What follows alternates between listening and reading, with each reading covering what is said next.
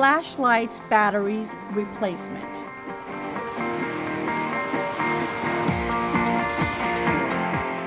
The flashlight uses three small flat batteries.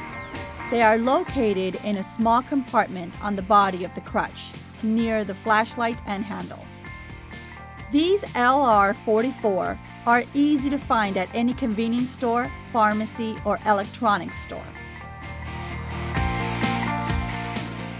Manufacturers of this type of batteries always recommend handling these batteries in a way that no fingerprints would be left behind on the batteries. Use a small Phillips screwdriver to open the small battery compartment. Get the old batteries out and discard accordingly.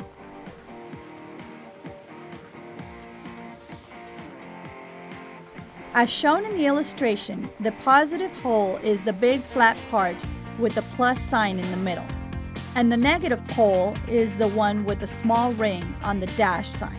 The three batteries have to be placed in this order. Positive, negative, positive, negative, positive, negative, as shown.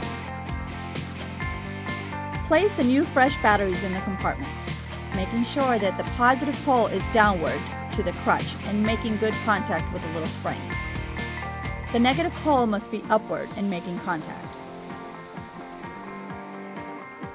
Verify that the flashlight works. If not, check that the batteries are new and are all placed in the right order.